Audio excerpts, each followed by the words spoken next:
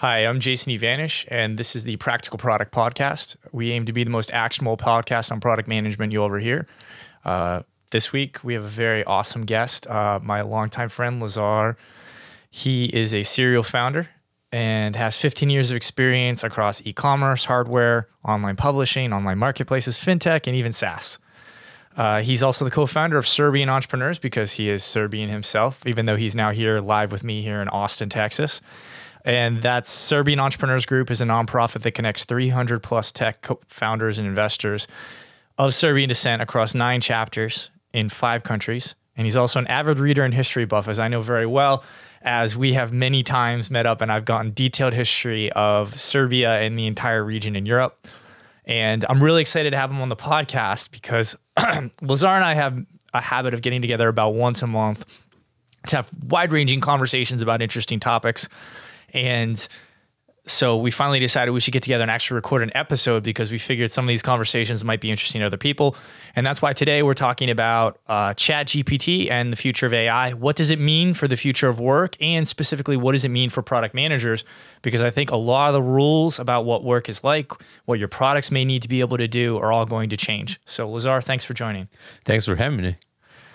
Cool. So there's so much we could cover today. I think we're gonna go for about uh hour and a half, maybe two hours in here. But um, let's go. Yeah. if you've been following things on Twitter or anywhere else lately, you know everybody's talking about ChatGPT. Uh, you may have also seen things like DALL-E um, that are doing really cool stuff where essentially you prompt an AI and it comes back with something awesome, whether it be ChatGPT giving you a really interesting answer or potentially generating images that are actually useful and usable as is or with very light editing. And so it seems like a really exciting time to be talking about that. So let's maybe start with talking about chat, chat GPT because that seems to be the the hottest one lately.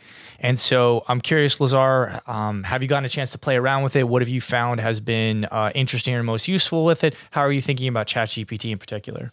Uh, I think it's awesome. I mean, I definitely played with it like everybody else in tech, like over the last couple of weeks. Yeah. Um, and it's great because a lot of people who haven't had a chance to, who hadn't had a chance to play with uh, GPT-3 uh, directly, are actually getting exposed now because it's like you know a very simple interface, kind of like you know just a chat box basically mm-hmm. um, and it, it, demonstrates the power of uh, ai to a very wide audience who may not even be technical and may not even know you know how to spin up like um, an api call uh, set um, so in that sense um, it's it's pretty interesting because like also it it opens like all sorts of cans of worms right so people are uh, making it do all sorts of things. So for example, like uh, um, there was a guy who uh, actually had the Chat GPT take uh, the USMLE test, which is United States Medical Licensing Exam test, yeah. and um, AI scored seventy percent. So you know, right? Like, what does that mean? Because, like, you know, if you look at like general practitioners, they make for like fifty nine percent of uh, mm-hmm. uh, medical pros in the U.S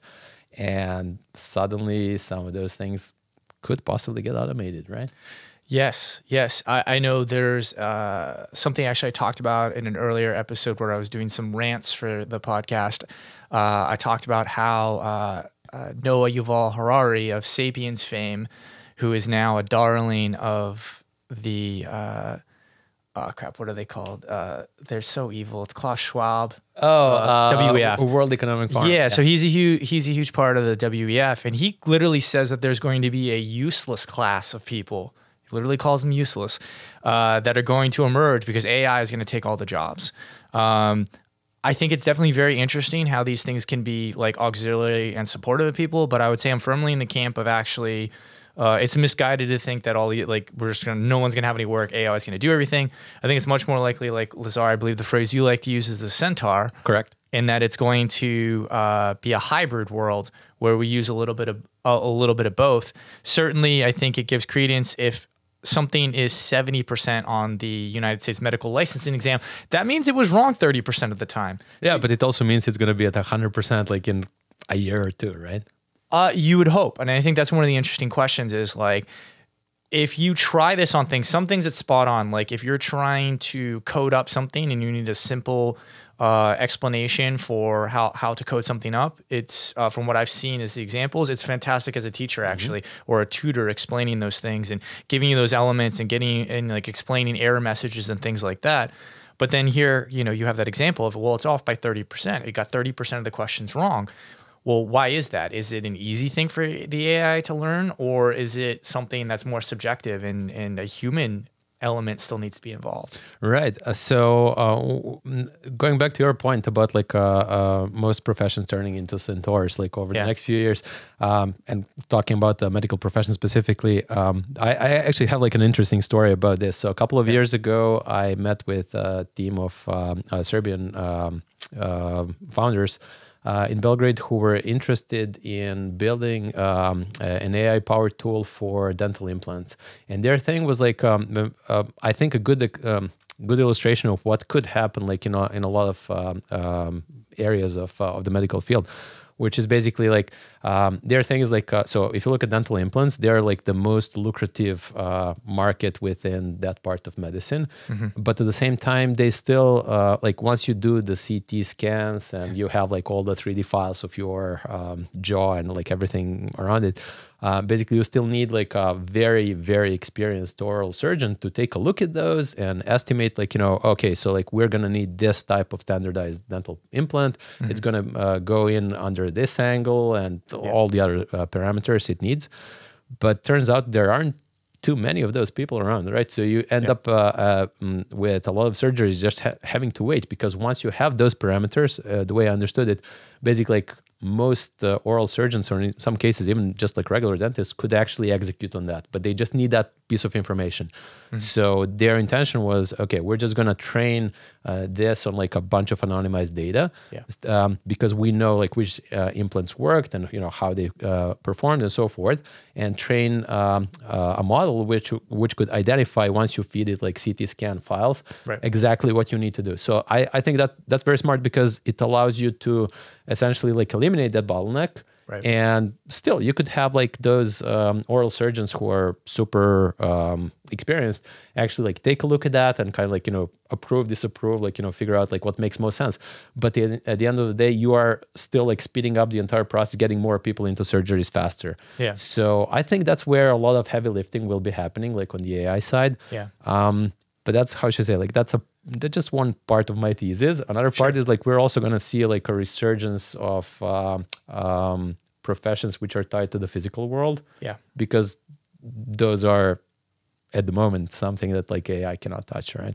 Yeah, absolutely. And I think that's the thing though is that like uh, you can look at like a great example. One of the very first things that like AI really took advantage of uh, was copywriting mm-hmm. because it's like if you can learn the AIDA method and some of these other methods, like and you read a lot of websites on the internet, like AI can very quickly learn how to do those things.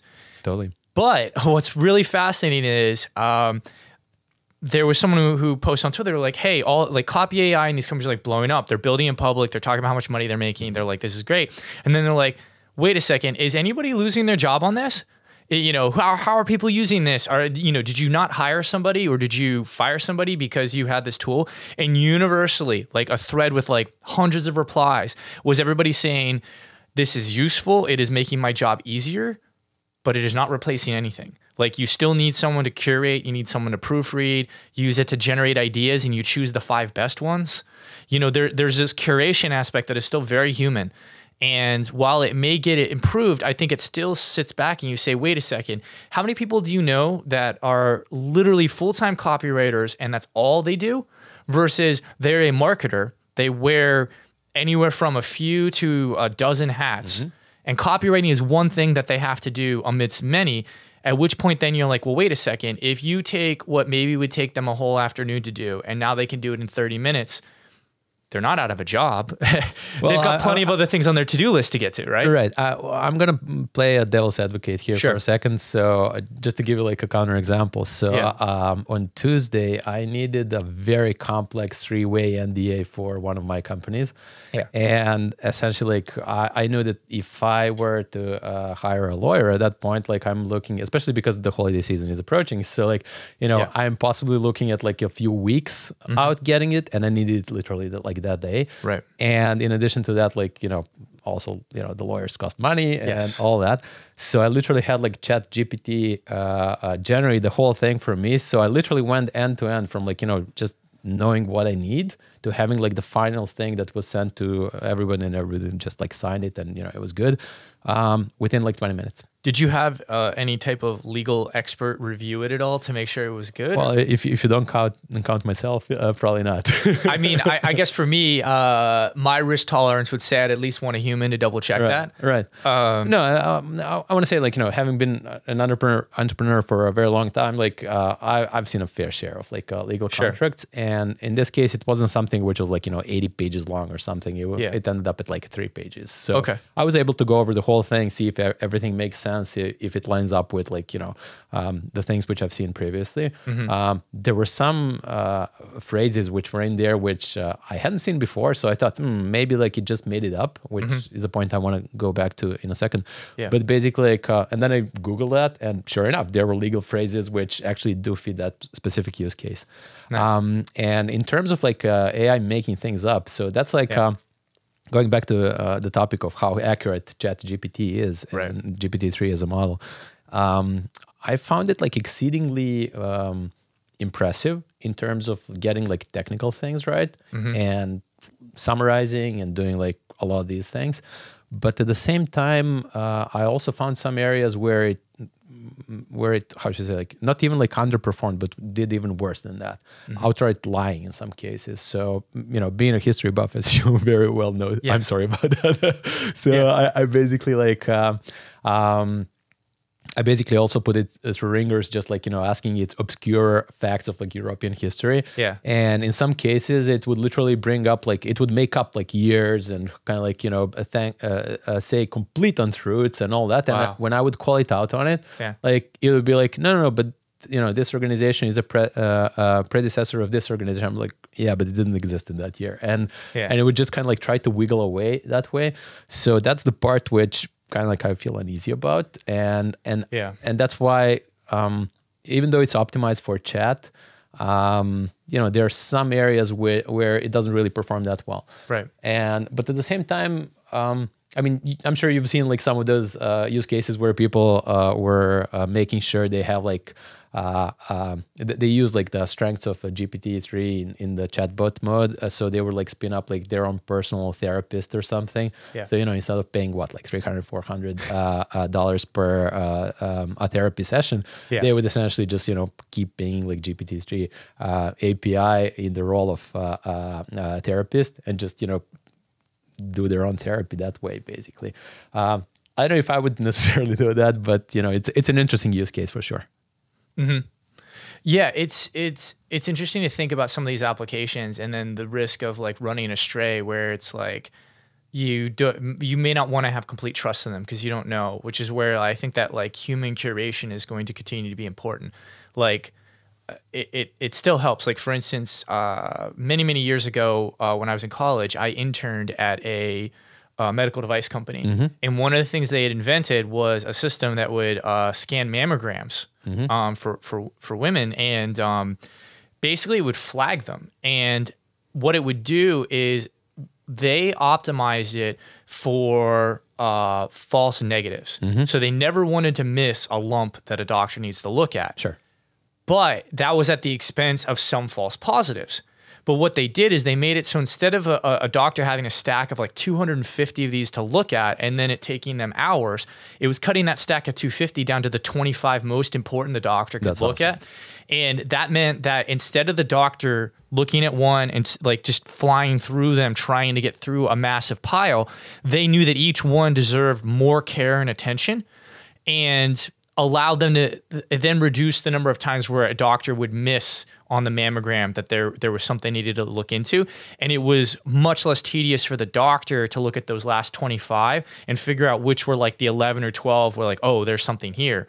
Um, and so like i think that there is this is a lot of what's informed me across multiple examples I've seen in my life where I feel like, no, it's one, uh, human plus AI is like one plus one equals 3 Either one individually runs risks, whether you're talking about the, the AI risk or uh, of them being wrong or misleading, um, or you know other people talk about just like flat out like oh you know people just aren't going to have any value at all to add to the chain. It's actually much like you know i was an electrical engineer as an undergrad like dude graphing calculator i wouldn't even be able to do half the stuff i got a degree in um, if i didn't have a graphing calculator to help me. Right. and it's like well the graphing calculator did some pretty important stuff but i was still a part of that input. And so i, I think that a, uh, a it will be interesting to see how AI emerges. Where what are the things that yes you can train it, and where do you hit those upper limits? Like I know because I was nosy and asked questions as an intern that the whole reason they designed that mammogram scanner the way they did is because at first they wanted to do everything and they couldn't get within FDA tolerances. So the device was never going to get approved if it was going to just be standalone and replace the doctor. Right. They only actually were able to get within FDA rules when they realized, like, wait a second, why? Replace the doctor when instead we make the doctor 10 times more efficient. Exactly. That's the same issue that the dental implant guys um, encountered. Yeah. They were basically, okay, so like um, automating the thing like 100% wasn't really like gonna fly so yeah um, but i also think like one one of uh, uh, just kind of like talking about like ai in the field of medicine i think what's gonna also happen is like we're gonna see a lot of like new discoveries as well because um, i just read the other day that basically like uh, um, we hadn't known that like uh, uh, retinas of uh, males and females actually like uh, differ. We thought you know eyes kind of like the same organ, same thing. Yeah. But then um, an AI model actually was able to identify precisely whether um, uh, uh, an eye belonged to like you know male or female based on just like scanning the retina and it was accurate in 80% of um, uh, cases which is interesting. so it seems you know it's it definitely beats like the statistics. Yes. So there has to be like some difference that we're entirely unaware of. And yeah. i'm sure we're gonna see like a lot of these new things happen as well. Yeah i mean certainly their observation skills are different than ours so like totally. i mean if you ever think about how the human brain works whether you talk about how we how and why we form memories or how we process information like our brains are as lazy or as efficient as they have to be. Totally. Um, which means that like rather than you know even just thinking about the the room we're in for recording this, it's like at any given time, if my brain wanted to, you know, it could pay attention to the number of different cameras, the lights behind us, uh, your shoes, my laptop, any of these things. But what generally happens is the brain goes like, no, 95% of this isn't important. We're going to focus on just the 5%. Like I'm looking at Lazar's yeah. facial reactions here. Um, and so what's interesting is that's not how, as far as I understand it, AI actually approaches it. it it's all, it's always potentially ingesting as much information as it can. And so there are times where our focus is valuable, and there are times where being able to take everything in is actually more valuable. Yeah, and not to forget that also, like you know, talking about like human vision, you actually have a hole in your vision where optical nerve goes into your eye. Yeah, and then your brain just paints over that, and you're, you're essentially not perceiving like the full uh, field of view, really. Exactly. So uh, let, us talk about uh, the the um, pictorial side sure. of, of, AI for a second here. So so ChatGPT, I think there's been a lot of really fascinating stuff, and that's been the hot uh, the hot thing on, on on Twitter lately because people just want to an- ask it lots of questions. But one that I've seen that's been kind of a slow burn over the last couple of months has been the feed it a sentence and uh, there's a whole bunch of different ones that are doing it um, where then they'll do things like generate 3d assets uh, generate a video uh, create mood boards if you're a designer looking for inspiration uh, creating app icons um, uh, Pieter Levels uh, has his generative avatars app like you see all of those um, and you can see where like graphic design is is definitely taking an interesting leap. So I'm curious, Lazar, uh, you know, have you gotten to play with some of those? What are what are your thoughts on the potential with that? Yeah, going back to uh, uh, that thing about like most professions turning into centaurs. Uh, one of the curious things I discovered is like uh, that DALL-E uh, as a as an AI doesn't really know, doesn't understand centaurs. So if you ask it to generate a centaur, you're just gonna get like a regular rider on a regular horse. Um, which is funny because recently I wanted to generate an image of a centaur and yeah. ended up having to uh, feed it something something already existing and then change it enough and have it kind of like you know dream some of the, the alternatives and whatnot. But out of the box, it doesn't seem to know what a centaur is. But yeah, um, I think generative AI is definitely an interesting field. Yeah, and you can already see like how some of the um, how should I say like um, AI in general is going to cause a lot of tensions like uh, in the world like over the next few years. Yes. Um, but you can already see how like digital artists are uh, making like a pushback uh, against it. Like Mm-hmm. um, a lot of them are posting these like no AI with kind of AI written and crossed out. Um, Yeah. To their profiles like on, on different uh, digital art websites um, or opting to have their art taken away from uh, taken out from the training data set. There are even dedicated websites for that i understand now. And um, but still I, I think like it will still march on like in, in many cases. And the question is again like you know where where it lands right? Is it just gonna like 10x or 20x or 100x like uh, um, some artist's speed or is it gonna replace some which do some highly technical repetitive tasks which models can be trained to do and then just Right. empower the ones who don't do that and do something else and kind of like automate that part away? Um, and in in that sense like uh, I, another question which i think is especially relevant to, to your listeners um, is you know as a pm how do you differentiate in that world? Because if you look at like most of these um, most of these uh, generative ai products like a lot of them are really hitting up like you know same apis really like for uh, you know they don't, they don't they're not really running their own proprietary stuff under the hood it's just kind of like you know standardized off the shelf solution that anyone can use Yeah. so um, building a moat uh, for your product is gonna become like a very interesting and very um, complex question for a lot of PMs because if you look at it, it's like you know my favorite example is Jasper, right? So uh, they're competing in the same uh, sandbox as uh, Copy.ai, so Yep. like they're generating co- uh, copy for for products. You can generate blog posts and like uh, email copy, micro copy, whatever. Um, but their thing is like, the, so we're talking about the startup which uh, at last valuation they're worth 1.5 billion dollars. Yeah. And, and I don't want to sound like disparaging or anything, but I can literally build the same thing in a weekend using Bubble. Yeah. So, mm, you know, how do you differentiate then aside from being first to the market? So that I think that's going to be like a very important question. Yeah, yeah. I mean, I think to some extent there's opportunities to like narrowly train what you're doing and and have have that advantage because your training data set is better. But obviously that's getting more democratized and they're figuring out more ways to feed in. So like that may be a temporary lead. Um, I think that obviously brand is going to matter a lot. If you can build a community aspect to what you're doing, um, if you can get your users to help be a part of the training, I think that will also help because in theory, uh, you know, when you think about a moat, if you have some uh, large audience that starts and somebody has to start from zero, and that audience yourself is also steadily helping contribute to the improvement of the model within your system, then that even if it's you know starting to to trail off because there's less to optimize, Right. it's still putting you further up the curve that they have to catch up. I think you're right. You, you- w- I think we're already seeing some of that. I mean, for example, you brought up uh, uh, Pieter Levels' uh, Yeah. Avatar AI. Um, the thing is, like, you know, if you look at the product itself when it's when it's when it launched, um, it wasn't using like anything like super original. It was just like front end for Astria AI, which was what r- ran all the models. And it was funny as uh, Astria kept uh, raising their prices, uh, Pieter would just like double his prices to kind of like match their uh, new Yeah. pricing because of its newfound popularity.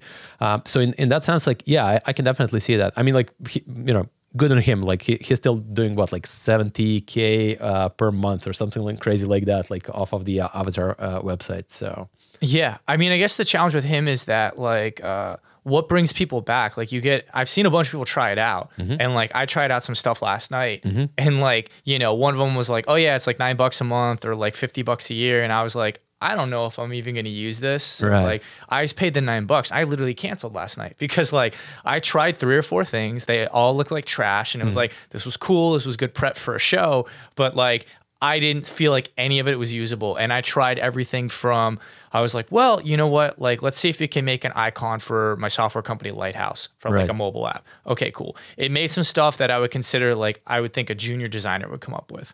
Yeah, um, again, playing a devil's advocate here. Yeah. So I actually used DALL-E to generate uh, uh, uh, two logos, which I actually used like in real products, like Okay. over the last uh, few months. Okay. And uh, of course, it wasn't like the full thing. Like it was still a, this like Centaur like situation where Yeah. DALL-E sped up like a bunch of uh, uh, examples. Yeah. I, I generated probably I had like 15 or 20.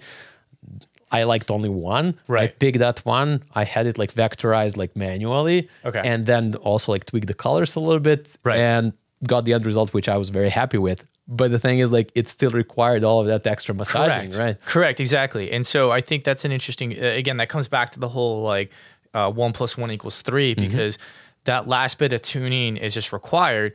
I think there is the potential to build for that like editing be built. Like I, I definitely became clear to me like when I started looking at it was really cool. Some of the tweet storms I looked at of like designers who have started using this stuff, Mm-hmm. they they were like they use the alt text on Twitter uh, for each image to tell you what the query was. Right. And I looked at it and I'm like, oh, this is in English. Like, like, like it's not like at this point in my life, I've gotten very good at Google search. Like I know how I know how to just find stuff.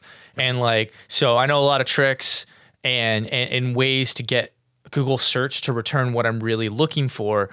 At least at this point in time, I think a lot of these generative image AI ones are the same because like some of the things that they were putting in there, whether it be mentioning phrases like Dribbble and stuff, which I don't know if that tells it to check Dribbble or like No, like no, that. no. th- th- that's the thing. Like it, it just uh, tells it to try to match the feeling of Oh, yeah. Dribbble.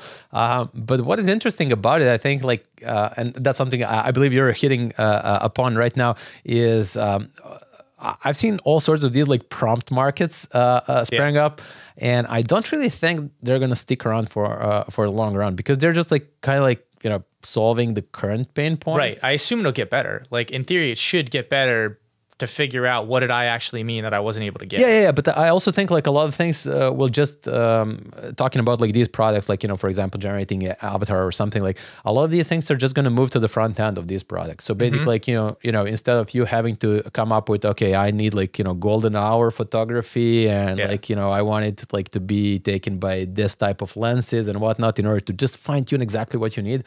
A lot of these things are just going to be kind of like presets that you're just gonna select and kind of like you know get the result you want.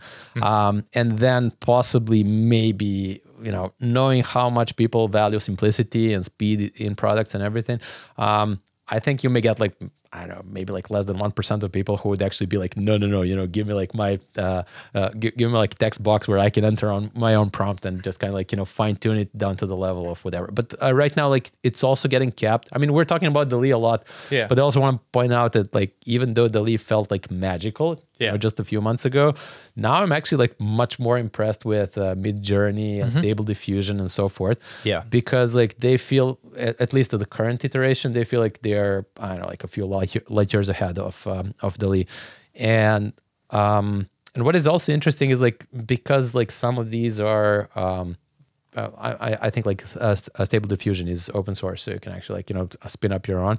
Um, we're also seeing like all sorts of solutions where you can just kind of like deploy your own cloud re- really for, for AI and use Right. that um, instead of like you know having to ping somebody else's API and basically also rely on you know whether they're um, whether whether they're up as a service at the moment or not.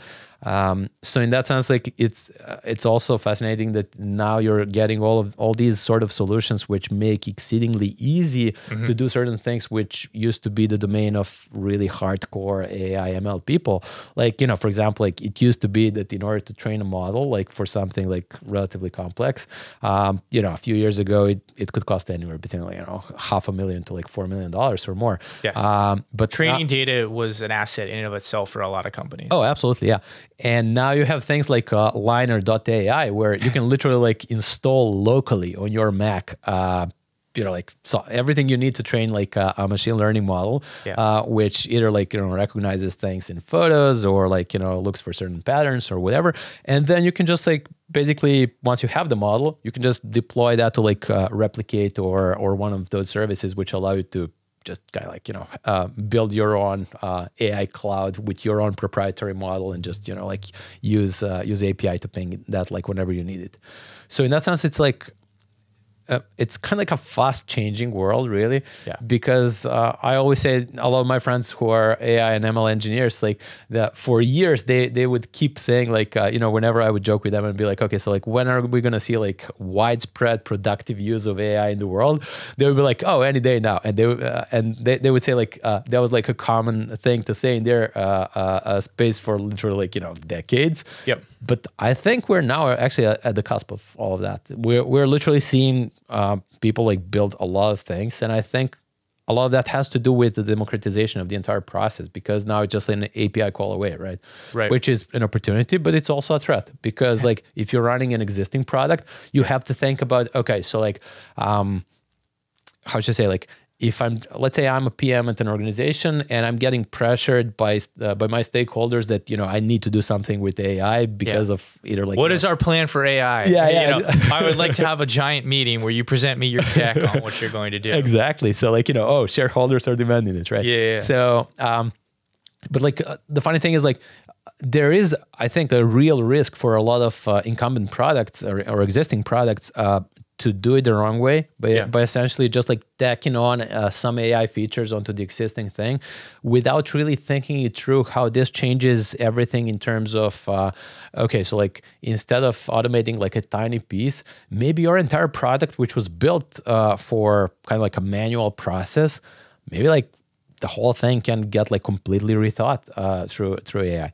or maybe like it's you know like ninety percent of it just goes away and kind of like because if you don't do that, like there are a lot of hungry startups out there which are more than willing to jump into these opportunities, and I think that's going to be like a bloodbath over the next few years. I mean, it certainly creates a mat. Like you know, one of the things that I think, like you zoom out and look at some of the best VCs have always talked about is the, um, you know, what are the dynamics that shift the market that create massive opportunities. Right. And so at one point it was the transition to the cloud, obviously most famously led by Salesforce. Then you had uh, mobile, and so it was like this entirely new device and landscape that you could use things in. Um, with AI here, uh, you're absolutely right. I think if you don't you if you don't have a plan for AI at all, you need to at least think about how could AI be integrated in what we're doing. Once you do that, you have to start to say, from a threat perspective, what could AI do that would completely disrupt or replace us? Totally. Is there is there a way that this would be done 10x faster, 10x cheaper, 10x easier? Um, like like it's not always clear. I think it, you know I don't think your payroll provider is a, is at threat of being lost to AI, but I think that if you were, you know, a some type of like marketing automation software or something, like it's entirely possible that there's a day coming where, you know, instead of setting up this complex logic, you just tell the AI, "Hey, I want everybody who's like Lazar who downloaded this free PDF, I want them to get a follow up email seven days later and a follow up email 21 days later. The seven day email should talk about the giveaway they download and ask how it was and in a ps promote our product and the 21 day later one should be about our product and it will literally set up all the logic for it take a first draft a copy for you and set it all up so all you have to do is jump in and proofread it Absolutely. I mean that, that, that that's exactly that's exactly what you, brought up with you know people getting like you know 10x in terms of productivity and then you know figuring out like you know what to do with the rest of their time to kind of go even an extra mile b- b- beyond that. Yeah. And in general, you know, just like looking at, at all of these opportunities, I, I think like a lot of things will change in in uh, in a way. Uh, as I said, like you know, one of the things I expect, like sure, you know, there's going to be a lot of Centaur professions, but at the Yeah. same time, I think we're going to see a resurgence of like uh, uh, uh, things, uh, professions which have to do with, with like you know physical world, just because like the barrier would be much higher in those cases. Like you know, if you're a lawyer and you're used to just like editing these like boilerplate templates where you're just like you know change like name of three companies and uh, maybe like you know tweak one sentence and you charge me like you know two grand for that, Yeah. and you you're getting automated away by you know like chat gpt which i got for free to get to do the same thing like within 15 minutes with like a few iterations yes in that case like sure like you know not everybody's gonna do that right like you know um I, I'm tech savvy enough to, to actually like you know uh, Right. go down that route. But like, um, if you're a lawyer, you may be thinking, okay, so like, why even spend those uh, like 10 minutes or whatever, like editing that thing where I could be using some sort of product which automates that for me, Right. And and just you know uh, go faster with that. But at the same time, I, I think like a lot of people will get spooked away by uh, you know everything going on in AI and kind of like shift their attention more towards like physical spaces and physical procedures and physical things, and essentially because like again this is a this is a whole other like uh, a rabbit hole but Yeah. You know how we often talk how like we stopped innovating in the physical space like and we ended up like you know everything is about like bits which is great yeah, but the software eating the world yeah exactly but you know we're neglecting atoms like you know yeah. actual things like in the world and then that turns into like all sorts of like societal decays and whatnot and again you know uh, my thesis is that some of that also has to do with like uh, 1971 and you know but let's not go down the bitcoin rabbit hole this time. Yeah absolutely. I, I, think it's important to think about it though. Like i know for me i've had the same lawyer for like eight or nine years now. Mm-hmm. she's helped me like with Lighthouse. She helped me with my consulting business. I, have referred to her to a bunch of people. And the thing I realize is when I think about the value I get from her, it is not documents. In mm-hmm. fact, one of the awesome things that she did on day one when I signed with her was she literally emailed me a packet and she's uh-huh. like, "Here are te- boilerplate templates for the like ten most common documents I know you will need." That's smart. so. So I have a boilerplate consulting engagement agreement to use for anybody we hire. Mm-hmm. I have a boilerplate NDA, and like there's just like a bunch of things. And like she's like, "Yeah, just have at them." Like I know like there's blanks to fill in, and I trust you can handle that. And um, what I realize is what that does is that her value is not in the is not in the documents. Her value is in her consultative advice. Right. Let me let me play a devil's advocate again sure. in, in, this case. So uh, let's play this hypothetical example. Sure. So let's say you have a product where essentially as a, as a founder you can go in and be like okay i need this sort of thing with like you know these specifics and it just sure. like spits out the document for you so but again like that's not the most important thing sure let's say in addition to that it also has a, a page or a section in the app or whatever where you can talk to it so like you know when you're talking uh, everything you're saying gets uh, um, transcribed in real time using like uh, some API like you know Whisper 2.0 by uh, OpenAI, okay. for example. Um, you get that uh, transcript. That transcript get uh, gets fed to um, um, uh, GPT-3, mm-hmm. and with like you know some uh, how should I say like uh, safety rails in terms of okay, so like this is legal advice, so you know you're you should be taking these things into account and so forth and then basically speak all of that back to you as it gets output. So you're essentially you, you could also have like you know AI legal advisor. Like of course it's not gonna co- cover like hundred percent of cases, but you know for like small business owners, I can easily see uh, see that you know covering I don't know seventy percent of cases, even like you know at, at the current stage of development, because like you know it's right. But then I think mm-hmm. my point is you still end up with the centaur where like that lawyer can have uh, literally many more clients. Mm-hmm. Uh, an individual lawyer can have many more uh, many more clients because they can offload some of the more boring work. And in addition, like I love what you're saying, Lazar, but you know, tell me how your doc holds up the first time it actually goes to court. Right. I realize that, like, frankly, we're lucky. We live in a trust-based society, especially in America. Totally. And so, like, you know, many of us will never actually have to go to court over a contract we signed. But if you do, you cannot tell the judge, hey, I use an AI to generate this. I meant this, even if it says that. And the judge is going to say, this is contract law. It's what's written down. Absolutely. Yeah. Yeah.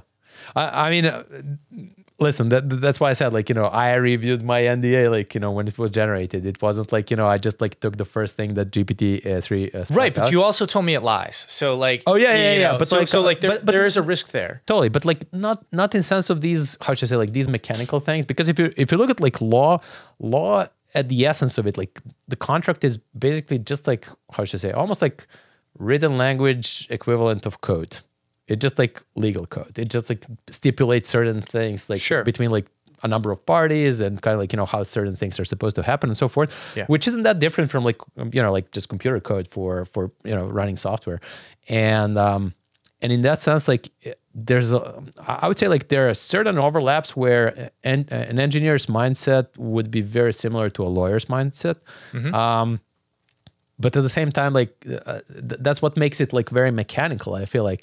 Um, because like all of those fuzzy cases which i encountered where you know like uh, chat gpt would lie to me or uh, not give me like a good enough answer or something were things which weren't necessarily mechanical processes which were more kind of like you know how should i say based around like you know society or culture or history or something like that.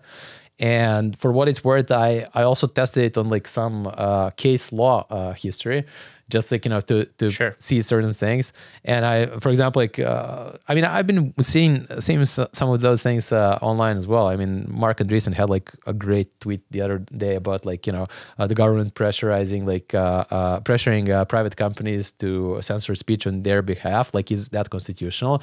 Right. So. Um, Chat GPT was actually able to pull up like examples like from case law saying like no you know we already have like these cases in history which prove no that's not constitutional Right. so because you know it goes against freedom of speech right so in those terms like it's good but again like that's a how should I say it's very codified um, uh, body of knowledge right Sure. whereas history really is more fuzzy in, in a lot of uh, I I mean I would argue it's not that much but again you know like uh you know coming from the balkans you know that like famous uh, famous adage you know like one man's freedom fighter is another man's terrorist Right. so yeah Yeah, I mean, I guess, uh, yeah, I- I, I still stand by the fact that like you won't know that there's a problem with your AI generated legal docs until the first time you have to enforce them.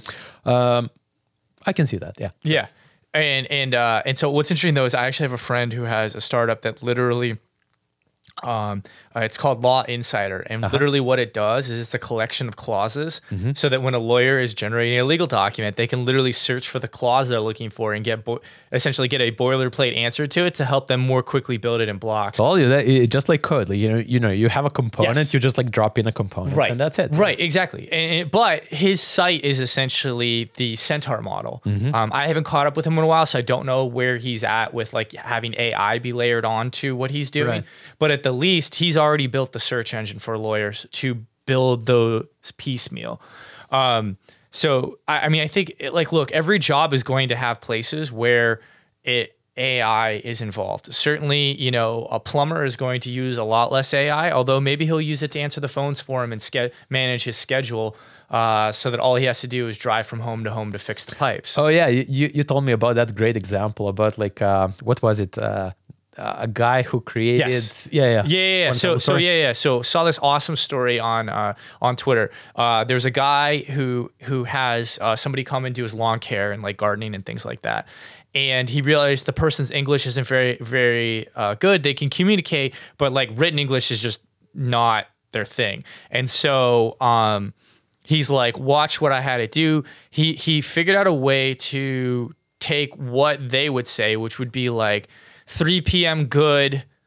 Uh, see you see you outside. Tha- you know thanks jose. And like basically like he used that uh, uh chat gpt to exp- do an automatic expander on that. So instead it would say hi amy. Thanks so much for confirming the time i'm going to meet you. I will meet you outside your home at 3 p.m all the best jose and so he literally turned that into an instant thing for him, where he can, uh, you know, this this this lawn lawn guy can can run this business by himself, even though his English, his written English proficiency isn't quite there yet. And so he built this system for the guy, just gave it to him, and now Yeah, and you that's like- mentioned like, uh, uh, uh, the guy very quickly after he started using that, like landed the first contract of I don't know, like what, like 150 grand or something like. Yeah, yeah, yeah, it's something crazy like that. But yeah, the guy was able to then immediately get a contract because it was helping him with the communication. Yeah. And so like that that is a perfect example of like that intersection because like AI isn't going to cut the lawn. I've seen I've seen what the robo um, like um, uh, robot lawn cutters that are that are like uh, your, what is the indoor disc that goes around people the Roomba. Oh, Roomba, I've seen the outdoor version of the Roomba that cuts grass and it's hilariously terrible. So I don't think that they're at risk of the robots taking their main job, but it's going to actually take something off their plate that's really annoying for them, which is managing all the communication and scheduling. So Totally. And just kind of like riffing off of that, uh, Yeah. I just remember like a really good example. So uh, I told you uh, about that thing which I read. Um, there's a startup now which actually uh, does real time augmentation of people's uh, spoken English. Oh, yeah. Uh, but like for call centers. So like, you know, Oh, you yeah, have yeah. a call center like uh, uh, some place overseas Yeah. and not worry at, at all about like their accents or anything because Yeah. they get like, you know, ironed out in real time. So Yeah. what comes out on the other side is like standardized American English. Yeah, did you did you see the video on Twitter that went viral the other day of the guy talking and he had Morgan Freeman uh, Oh, yeah, generated yeah, yeah. above him and it was taking his words and making it look like Morgan Freeman said Right. them. That was I mean Morgan Freeman has a very distinct voice which maybe helps a little bit, but it like that kind of stuff is getting so good that like when Donald Trump launched his his ridiculous NFTs yesterday, yeah, I saw that. Lazar Lazar actually sent it to me, and I literally was like, I. I think this might be fake. yeah. Because like I'm trying to do, like and then like I'm looking at it, I'm trying to judge like the cadence and being like, it's kind of choppy. Like that's very. It sounds like his words, but would Trump talk like that? And of course, it turns out it's real. It's real. Our former president decided the most important thing he can do in America today, right now, is sell some essentially glorified trading cards. JPEGs. Yeah, JPEGs. I mean, apparently they sold out, and the floor is double the original Seriously? price. Yes. Wow, Yeah, the floor price right now is two hundred fifty dollars on them, apparently, Wow, and they sold for ninety nine. And he had forty seven thousand of them. So you can do the math. He he made like what four point seven million. Not bad. That's ridiculous. yeah. Uh, yeah, the, the world is upside down. Um, sucker born every minute, whatever phrase you'd like Oh, to yeah. use. But like that's how good things are getting. That like I saw the Morgan Freeman thing and I was like, wow, this is incredible. They're like Lazar said, they're going to uh, you know, changing people's voices in real time. Yep. And uh, you know, in this case, I saw something that was real, and I actually was betting. I think I told you I was like sixty percent thinking it was fake. yeah, yeah, yeah. Yeah, so like I knew there was room for it to be real, but like I thought I had seen enough that I it just had to be it had to be fake. Yeah, we- we're entering a very interesting world in that sense. I mean, like uh, I also read the other day that like uh, and now China mandates for like any sort of like AI touched uh, up video to actually have like a, a disclaimer that Yeah. it was like AI generated. Yeah. Um, because you know I can imagine like all sorts of uh, ways where their society could get like you know shaken up really well. Oh, uh, with some of those. Oh yeah. Well, I mean, especially you think about the old uh, October surprise of politics. Oh yeah, yeah. Like, can you imagine? Um, uh, I'm trying to think of a PG one I could do, but just like you imagine the the a scandal of like pretending that a, uh, a candidate said something, releasing a video, everyone goes crazy about it, and then a week later we find out it was fake. But if a week later is election day, it one might be worth it.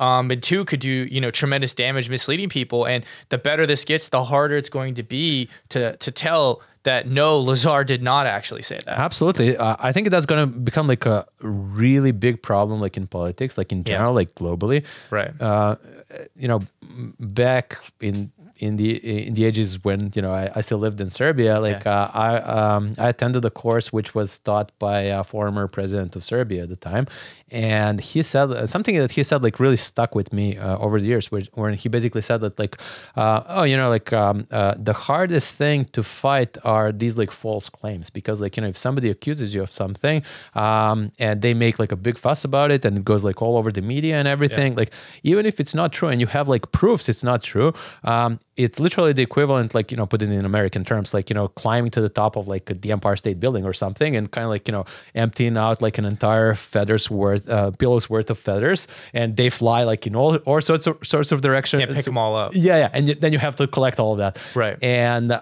it's and now with deepfakes, it's just becoming like you know even crazier because it's Yeah. like no, no, no. It's not that I heard that some somebody did something. I actually saw it with my own eyes. Right. And you know, you know how that goes with a lot of people, right? Oh, absolutely. And even like Twitter, like there are times where I feel like Twitter is great because if you go to like what's happening now and you want to see like a protest in Cuba, Brazil, or something Right. like that, like right now it, it can be great to see that.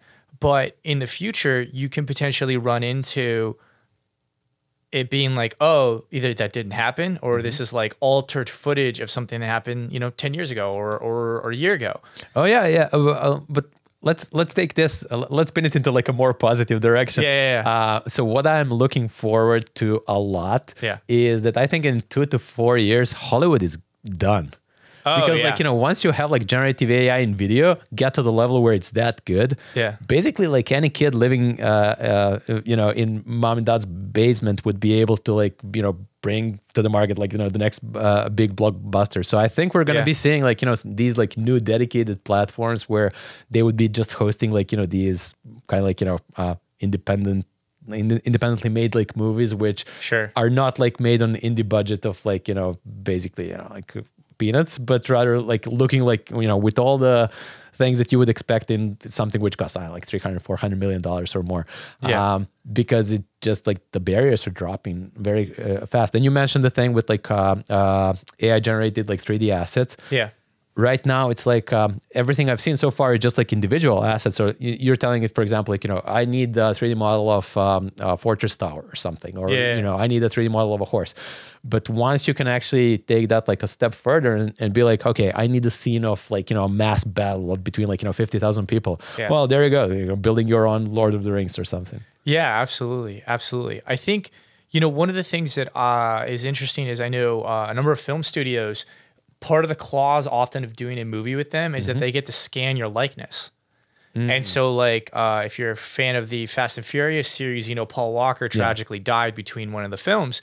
And so, what they actually did is they had his brother stand in for him in a number of scenes, and they literally used an early version of AI to put Paul Walker's face Right. on it, and then they used audio from earlier um, earlier films to use his voice again. And so like that was a bit of a hack because that was a couple years ago. But you know, I think Hollywood is at least thinking of it a little bit and thinking they can own those assets because in theory, like wouldn't it be amazing if like you could bring back like John Wayne and and Audrey Hepburn and things things Oh, yeah, like that totally. and like make iconic films that would have been physically impossible because because Different eras and all yeah, that. yeah, different totally. areas and things like that. So there's a lot of interesting things that come there, but you're you're right. There's there's an interesting question of like for them, like where is the centaur for them, or where is the things that like no, we're not gonna film that way, or does it become kind of like um, uh, you know, classic muscle cars, like you know, a handful of people will own their like 69 Mustang or something like that. And so some people will be purists who want to watch 35 millimeter film that was filmed in real life, but like most things won't. Like most things will be more like Avatar, where it's like all completely generated.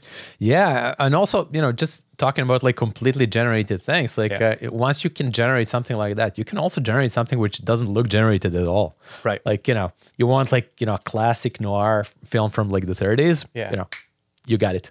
Oh yeah, imagine imagine Seinfeld fan fiction brought in, yeah. brought in the present, like present day Seinfeld in apartment.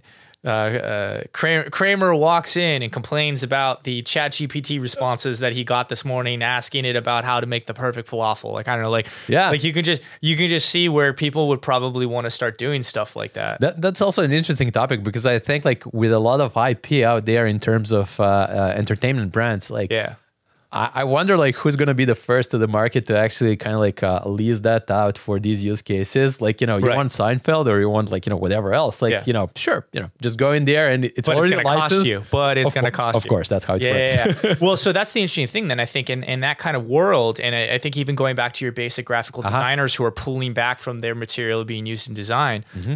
is you have that interesting question of like, what is IP ownership in that world? Mm-hmm. Yeah. Um, and does it actually, you know, I constantly have to get my phone number taken off of these, um, you know, sales, uh, Robocallers? Yes, sales Yeah. robocaller lists all the time. Every time a new one pops up, like if I accidentally answer the phone, I'm like, "What tool are you using? Come on, just tell me the name of the tool so I can get on the do not call list." And then you have submitting, and of course they drag their feet for 30 days so that they can really sell your number out. Oh, you're not collecting money off of that? Uh, what? I, I mean, uh, I, I I heard of a guy who actually figured that like whenever you get an unwanted call, like uh, uh, you can get I, I don't remember like twenty four hundred off of that or something. So he actually like cherishes the opportunity to get as many of these Ah, as possible I- because he was pulling in like sixty k a year or something. Uh, like that. I am apparently leaving a lot of money on the table because Same here, by the way. I, Yeah. I I am getting getting apparently thousands of dollars in calls every week. Um, no, but it'll be interesting to see then uh, how you think about like IP and assets and things like that. Uh-huh. Like for instance, Disney has built their entire empire over the last ten to fifteen years Oh, yeah. around owning tons of IP, which means that they, you know, they own all these well-known, valuable characters. Mm-hmm. And while they've done a great job, in my opinion, of, of blowing a lot of them, Totally agreed. um, those are still assets where like do you let them in Uh, you know how much would you charge somebody to do a fan fiction star wars Right. uh, that's actually allowed to generate it? or is there a big business in another ai being trained just to enforce it or just creating entirely new um, um, IP families. Like, you know, Sure. for example, like uh, a thing which comes to mind is if you know, like uh, I shouldn't say if I should say like when we get like the first completely AI generated like blockbuster in a few years, Yeah. and it becomes like you know. Um, think of it this way: like Disney has like a lot of these like brands which have like you know decades of history, which makes them valuable and all Yeah. that. Um, even though they're driving into the ground for a lot of those. Yeah. Um, but at the same time, like some of the more recent ones, uh, you know, ever since they picked up Pixar, Yeah. Pixar didn't have like you know decades of uh, of No, backstory they, they there. come up with new material. Yeah, totally. So, you know, and if you look at like Pixar animations, they're, you know, like 3D movies, right? So technically, once you can do that, like using AI, um, you could als- also spin up like all sorts of interesting things. And also because it would be relatively easy compared to like, you know, hundreds of millions of budget necessary to mm, do like a regular 3D movie, um, you could also kind of like, you know, almost A B test like different things. Like, okay, so like this combination was super popular, but this combination wasn't. Like, you know, people don't like the supporting character. Let's try like three others. And so just like dropping that um, barrier to entry in terms of uh, uh, the cost could drive a lot of uh, kind of like fine tuning to optimize for like you know future popular brands or something. Yeah, so that actually brings up a good question. I've seen uh, Sam Altman from Mm-hmm. the OpenAI organization talk about the insane amount of money that it's costing. Yeah, a million a day or something like that. Yeah, yeah. I think they. I think it was like the first week it came out. It was three million dollars a day. Yeah, that's crazy. Um, knowing that, how how do we look at the cost of AI? So you have all these startups and stuff that'll want to, Mm-hmm. and and businesses that will want to integrate AI, but like, I, I I don't know how much it is just there's that many people pounding on it, but. But how do we think about the cost here? You know, is this going to be like Bitcoin, where like Bitcoin needed essentially new uh, kinds of uh, uh, chips developed just for that purpose? Uh, do we need the same thing for AI, or like is cost actually going to slow down some of some of the potential of this? Right. So I don't think it's slowing down. It's because it's it. So uh, you know, as we discussed, like everybody, you know, especially like you know, corporate media these days is telling Yeah. you, oh, you know, like tech is having like a really bad day. All the layoffs at like big Sure. tech companies and all all all all of these things. But with AI, with the AI tidal wave coming in, I think like you know, within like six to eighteen months, we're gonna literally. Uh, get to the beginning of like an insane uh, a reinvention of like literally like every industry out there. Yeah. And um, so kind of like feeding into that, like uh, I would be very surprised not to see like hardware manufacturers start shipping uh, uh, more um, chips uh, uh, which are specialized, like you know, just in processing some of these things. Just like Yeah. you brought up, like ASICs for for Bitcoin mining. Yeah. Like you know, before that, like you know, I'm old enough to remember the days when you could, you know, just like uh, casually mine Bitcoin, just you know, using your laptop. and- Yeah, yeah, yeah. uh, and all that. But like now it's not possible because you have like these like massive like data centers, literally like, you know, hangars worth of like, you know, three stories of ASICs lined up with like liquid cooling and what we're literally talking about, you know, Right. tens of millions of dollars in hardware. So, um, I don't know, like maybe we get like specialized data centers with just specialized, like, you know, in making like AI faster or whatever. I, I don't know. Like, uh, again, we're also using this like catch all uh, phrase like AI, which is pretty big field with like different things. It's not like, it's not like everything is like the same model and all that. So, um, so yeah, um, I would expect hardware manufacturers to step up and actually like provide like more processing power for for these use cases. And I also think like you can see like some early um, early signs of that.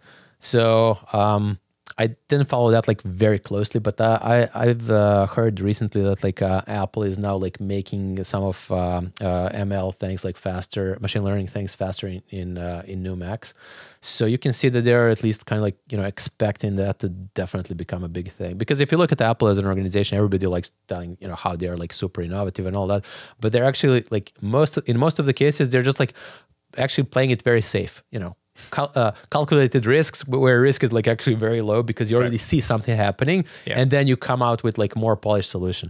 I mean, I don't want to go like too far in, in history of tech, but like you, you know, even uh, you know the iPod, like when it came out, like it wasn't anything new or revolutionary. Like MP3 players had been around for for a while at that point. And there had been some which have been like way better than like anything that uh, ipod was. Uh, i was very impartial to like Creative's um, products and i loved them. Um, and they could do more than uh, you know my friend's uh, ipod could do. But at the same time apple won because like they identified like what the important parts are. Like you know not everybody wanted to watch like you know DivX movies like uh, on a small screen on their player like i did. Yeah, yeah. But like everybody wanted to listen to music, so they just like you know kept iterating on that part until they got it to a level where your average consumer felt like you know great about their product. And I think like a lot of that that thinking like plays into a lot of other things they do. So for example, like you know. Um, I'm willing to bet that the only reason why we haven't seen um, uh, Apple AR glasses yet is because they haven't got it to a point where like your average consumer can accept them mm-hmm. Uh, and not repeat like the same uh, mistake that like Google did with uh, like uh, Google glasses, right? Yeah, yeah, Google Glass, yeah. So, so yeah, um, that it's very encouraging that you see them getting into like the entire like. Uh, okay, so our hardware is going to be optimized for uh, for ML and AI. So, Lazar, we, we've talked a lot about a, a wide range of topics on how AI is going to change a lot of things we do in the world. Let, let's bring this back to practical product and let's talk about what specifically is the things that a product manager can do. So, so whether it's the executive coming and saying, "What's our plan for AI?" and present me something next week, or it's you bottoms up thinking like, "How can my business be disrupted by?" It? Or maybe someone's thinking about starting their own thing. How how can we think about as product managers how AI should be involved without feeling like we're just like throwing buzzwords onto the end of a of a startup?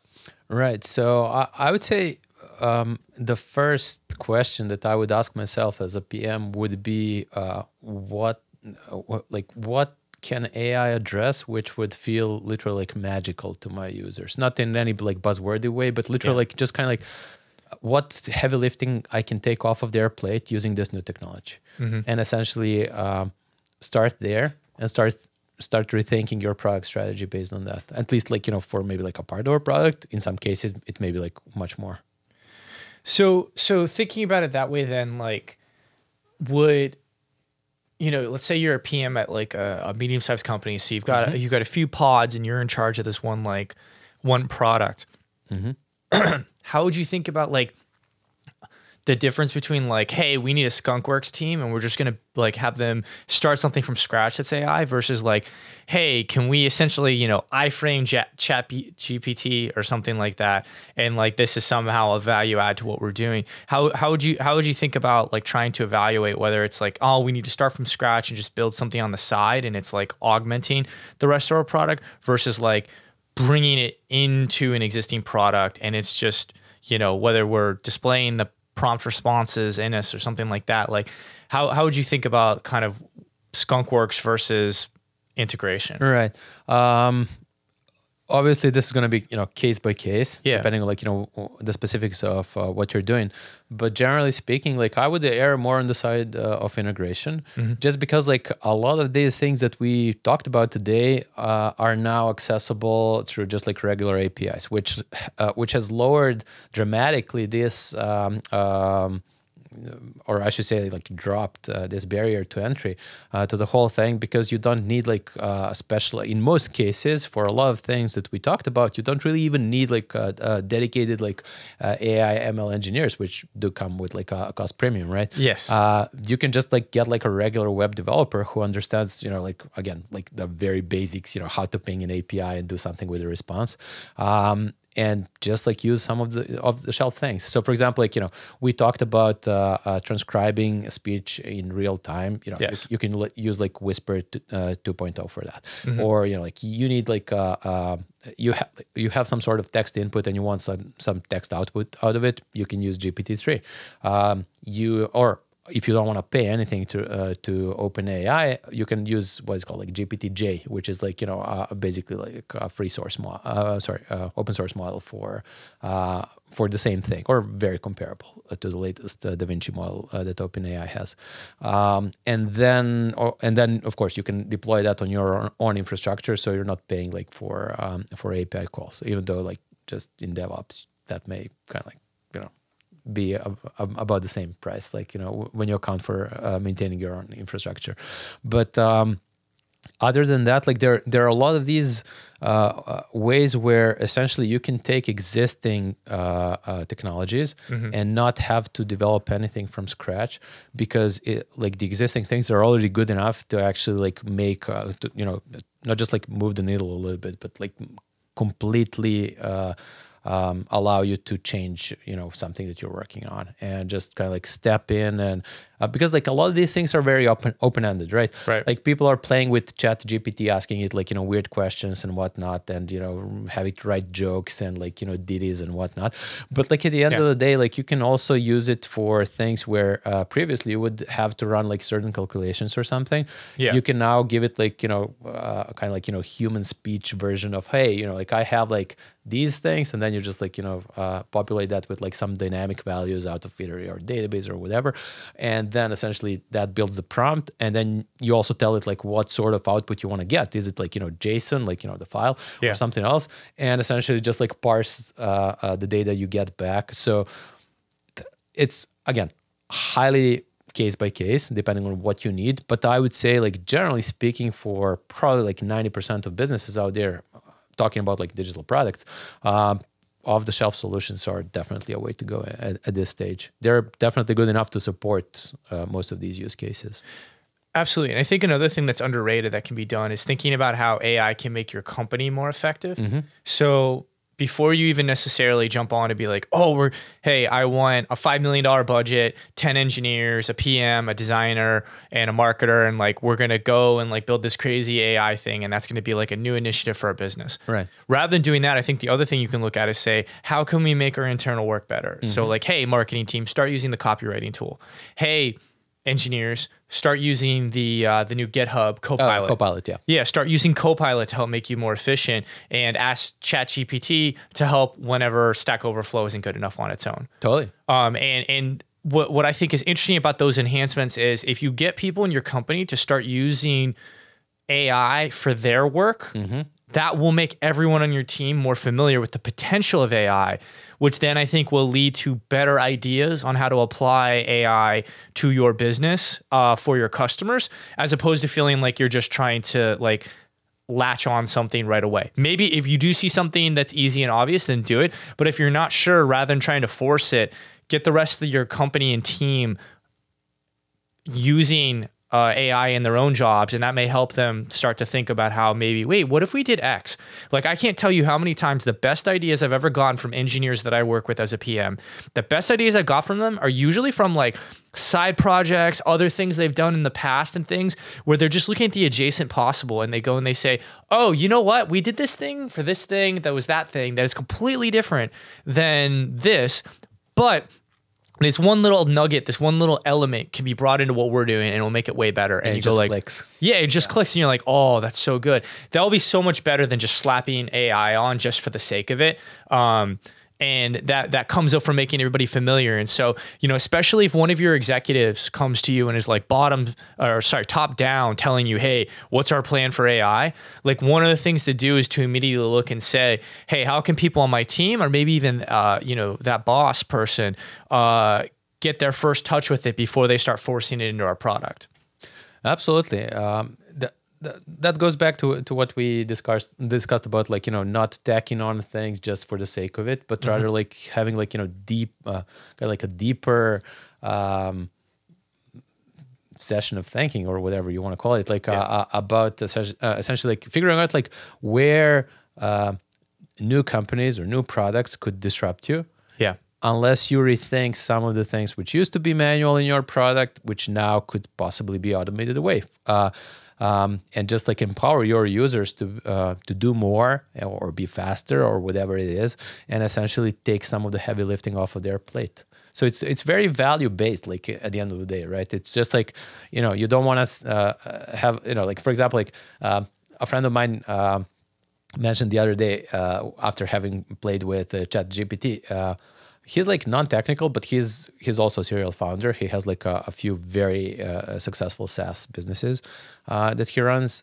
And he was like oh man I, am so ready for uh, chat gpt uh, um, in inside slack. And i asked him okay so like but what specifically? He's yeah. like oh i don't know really but like you know uh, that that looks great. I actually want like hr inside of slack running off of gpt-3 and i'm like okay that's cool but uh, you know Give there have been a lot. Of. I know multiple startups, including uh, one of the investors in Lighthouse, Uh-huh. who, who who have spent a lot of time trying to do that, and that turns out to be one of the more difficult problems. Yeah, because it's like you know fuzzy culture based thing, and it's not like Yes. technical. Like uh, uh, so with technical, it's really easy because like uh, so I mentioned bubble earlier, and Yes. uh, you know I'm a big proponent. Uh, but the thing is like there's this like uh, um, refactoring effort that they've been running on their code base for like you know months now, and they're still like you know either like in low uh, uh, double digits or like you know maybe even like lower.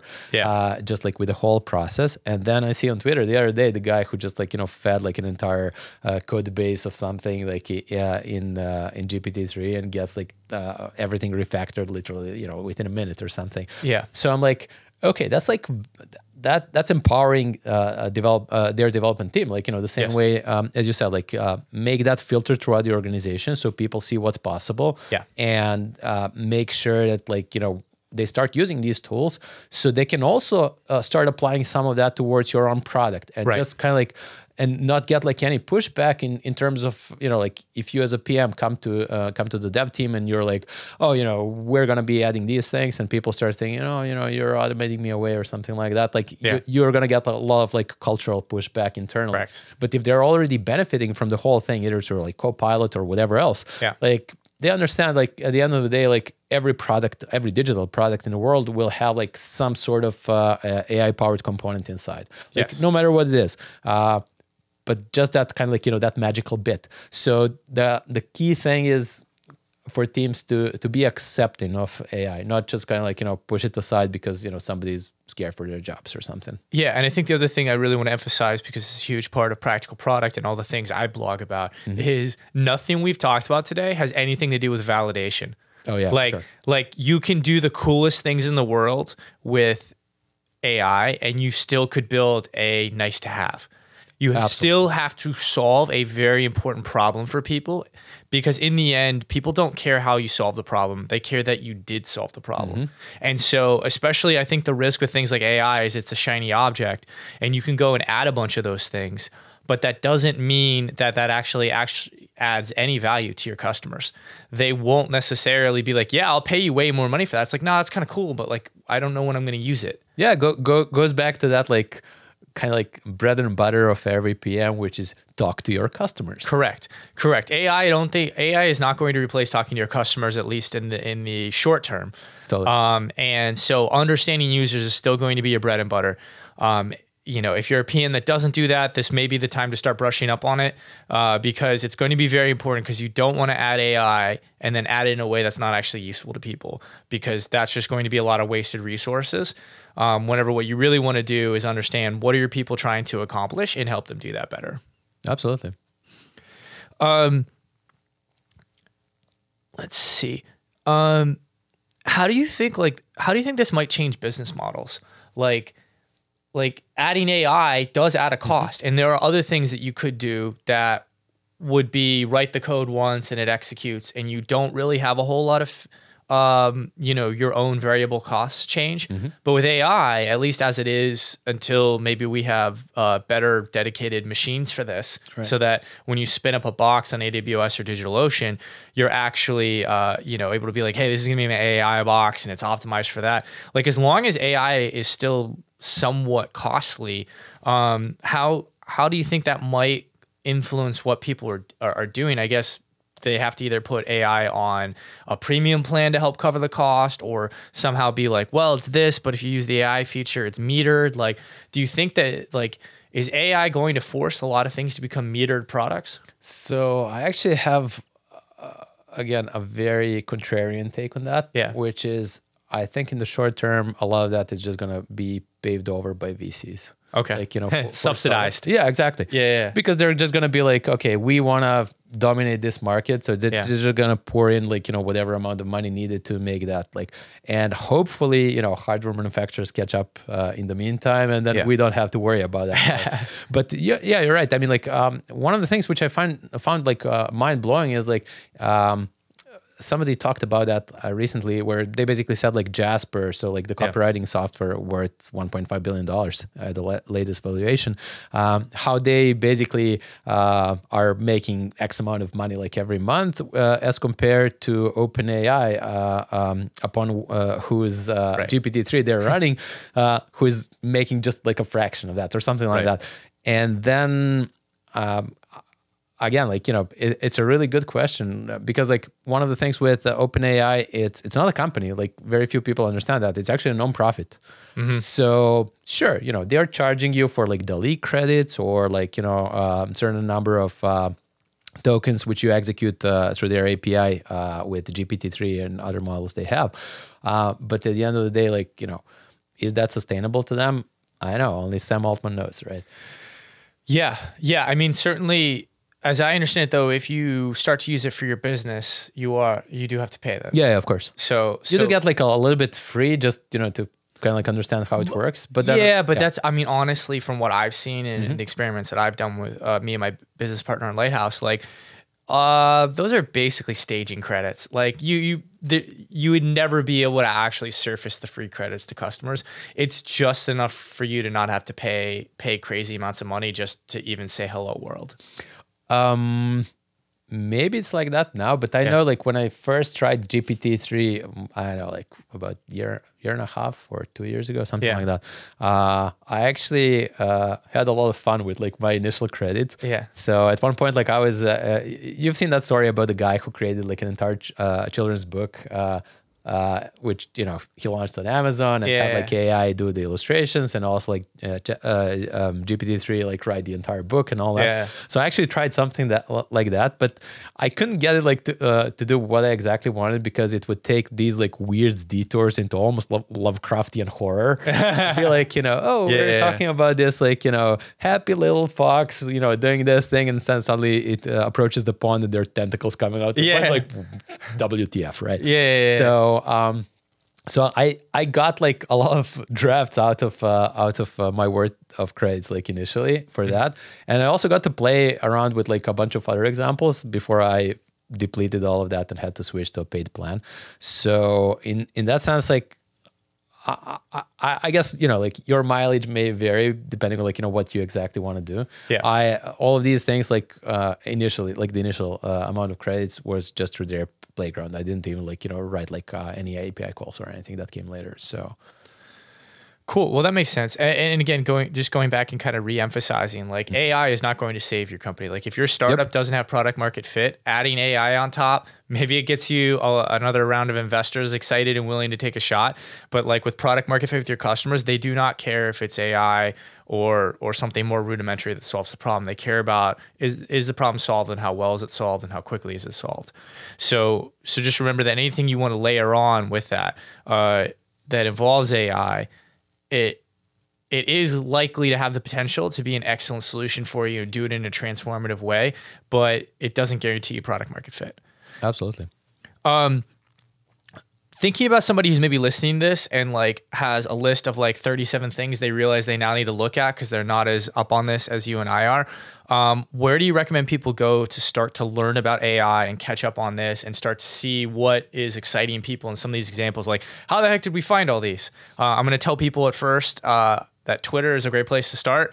Um, and and so definitely start there. But I'm curious, Lazar, if you have some places you recommend people look or accounts on Twitter you recommend they follow that will help them maybe play catch up if they feel like mm-hmm. they're they're realizing after this conversation they're behind on a on a growing tidal wave heading to shore? Yeah, so I would definitely second the Twitter uh, as a great place to learn about a lot of these things that just kind of like, you know, uh, uh, at a phenomenal level in terms yeah. of just you know what's going on and see like some of the examples uh, especially like for generative video like there, there, have been like a bunch of things like posted which are really cool yep um, and then in terms of other things uh, there, there, there, have been like an um, there has been a, a, nice number of like uh, newsletters dealing with generative AI as well.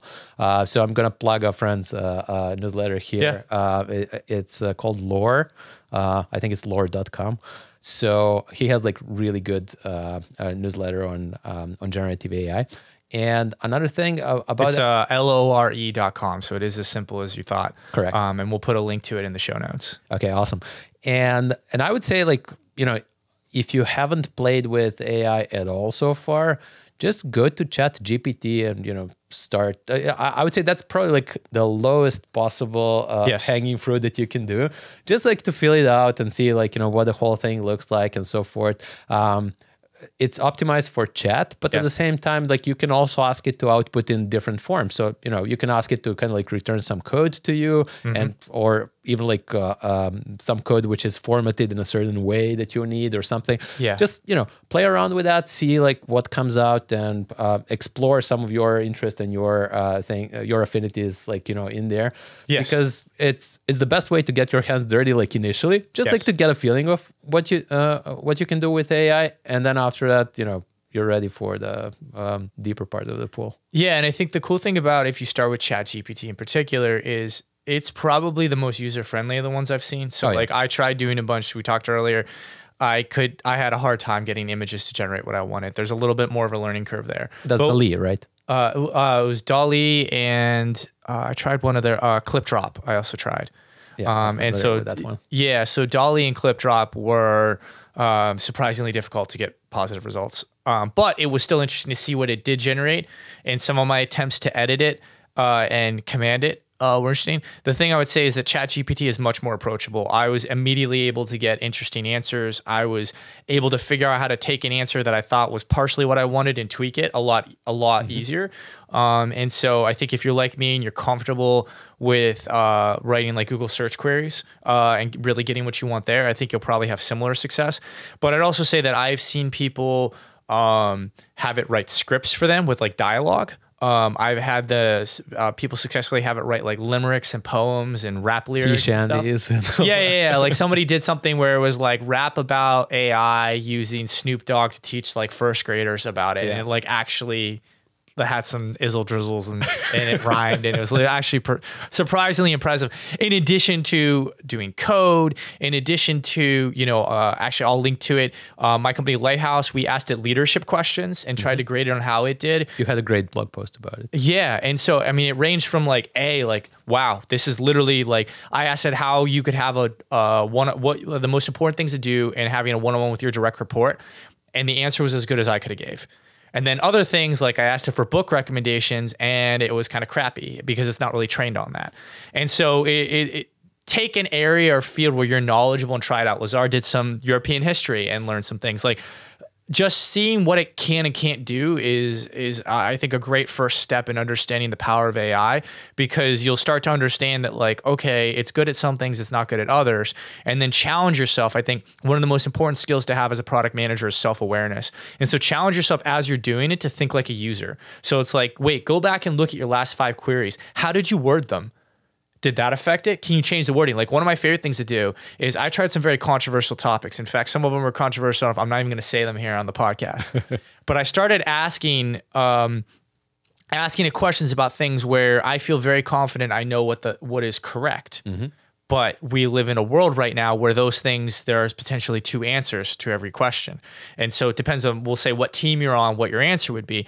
And I found that the word choice used in asking the question actually led to different answers. So if you ask the question like you were on team A, say about COVID, and, and then you asked the same question and you were on team B and it was about COVID, your wording had as much to do with the answer um, as what it would say. Like you didn't get the same answer when you ask the same question two different ways. Mm. And so I find that very fascinating and interesting. And it leads us to a world where it continues to ask that question of, you know, are we all in a bubble? Do we end up having very much self reinforcing experiences? And does AI potentially even reinforce it? Yeah, that that's also another topic which is probably like beyond uh, this episode. Yeah. Uh, uh, but just kind of like, you know, uh, built in biases in AI.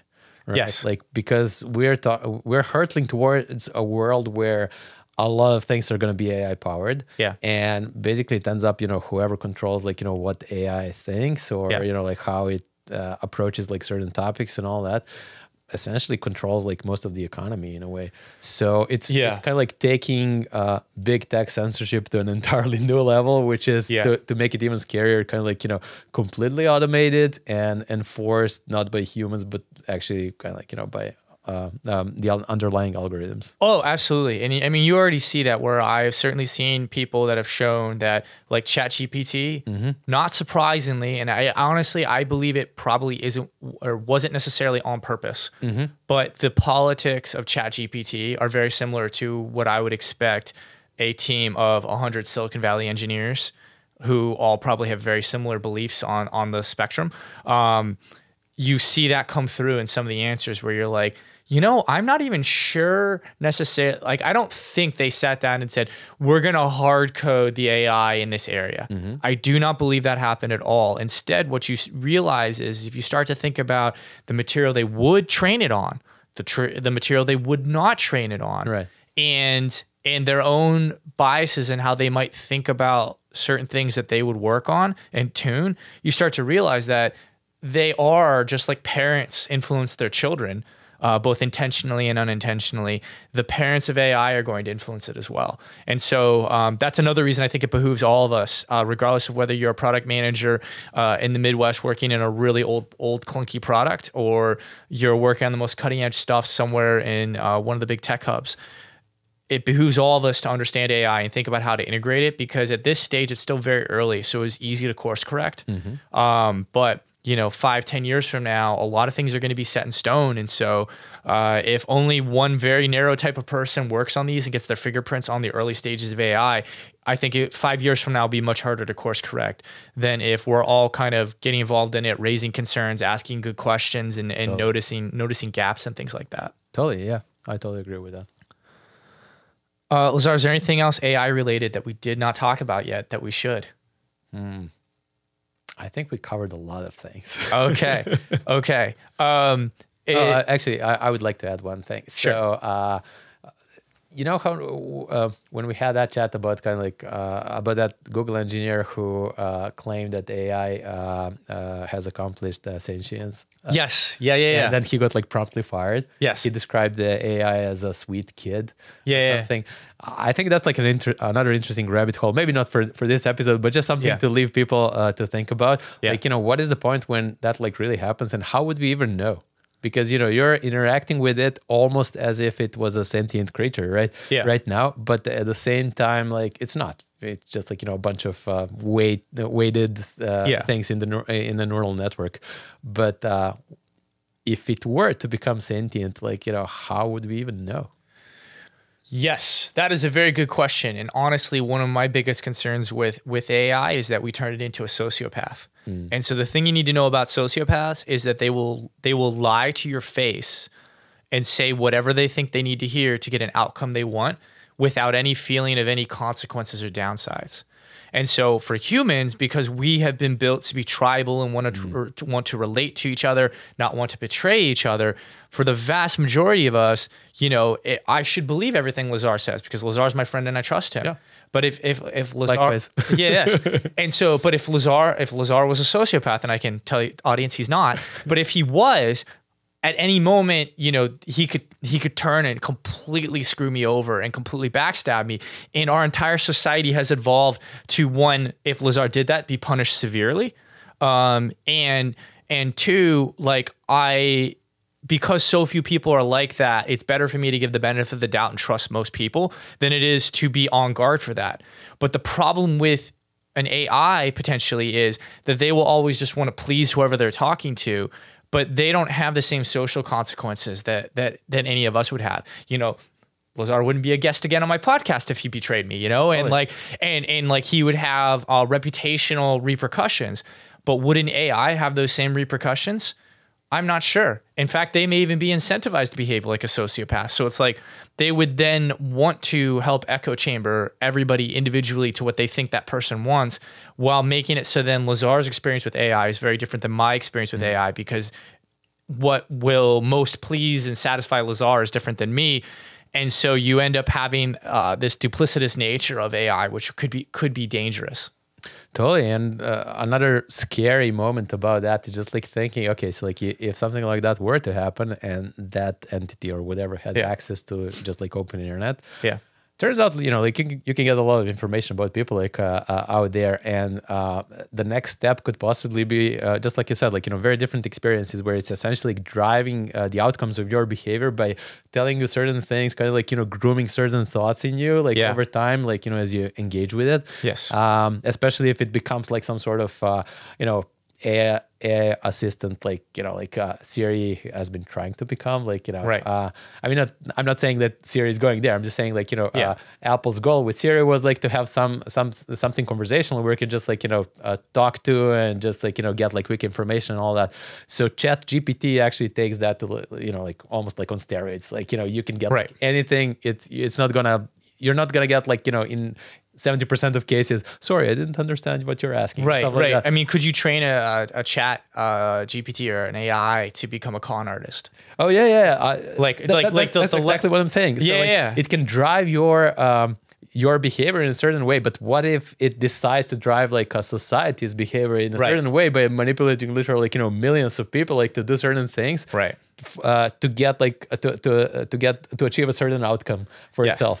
So I actually tried chatting with ChatGPT about that, but I got like so many disclaimers where, of course, you know, like uh, I- I, don't think like it's sentient or anything, but like Yeah. you know, that, some of those disclaimers is if I were an evil AI, that, that's probably I would use. Like, no, no, no, I was programmed to just, you know, kind of like not hurt humans and all those, like, you know, Asimov's uh, rules of robots and all that. Yeah. Well, and I think that's the thing is that I think ChatGPT could become a sociopath and not be sentient yet Mm-hmm. because that would literally like sentience might actually help it have empathy Mm. versus if it doesn't have sentience and it's just following instructions those instructions could actually be down a sociopathic path Right. because it doesn't have the level of awareness to understand the consequences of what it's doing Right. Um, a good thing uh, on this topic Yeah. is like I don't think it's like self-reinforcing at this point yet. right which is important Yeah. So you're basically just like interacting with something which is set in stone. So like that Right. thing which was set in stone. That's also why they make it clear that it has like a very limited knowledge of like world event, events. yeah it hasn't things, been like- trained since 2021 which i think is a very good thing Yeah.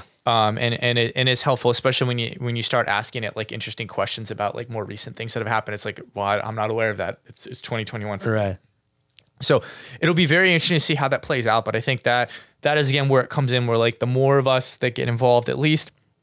Even if your company's not going to prioritize it, because again, I think if like you work at like a payroll company, there's no there's no obvious role for AI in payroll, uh, at least Yeah. Nothing point. comes to mind. yeah, exactly. And so like there But are if you're gonna- a bookkeeper, yeah. So so like there aren't necessarily places where I think it's still a square peg in a round hole to try and force or shoehorn AI in.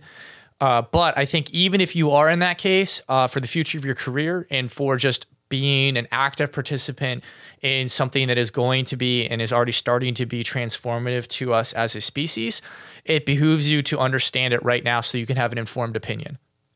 I agree with that. Cool. And on that note, I think we'll wrap up. Lazar, thank you so much for being a guest. It was awesome to finally have to having me. record one of our one of our coffee fireside chats that we had. Absolutely. So uh, it's also our first video episode here that we're doing uh, here. So uh, thank you to the studio here. This is going to be a lot of fun to put up on YouTube in addition to all the podcast platforms. And we're going to load up the show notes. Uh, I have a massive Google Doc that Lazar and I collaborated on before this. So we're going to share all of it. That way you can see all the cool things that inspired our conversation. And so, especially if you're like, wow, I didn't know what I didn't know here, this will give you plenty of rabbit holes to head down, things to sign up for, people to follow on Twitter and, and things like that. Because uh, AI is definitely not going away and it's definitely going to apply it. And so, if you want to become a centaur um, or just find ways to get the rest of your team to start thinking about how to apply it in your business, um, this is as good a time as any to start to get involved. So, this has been the Practical Product Podcast. Until until we meet again, I'll, thanks.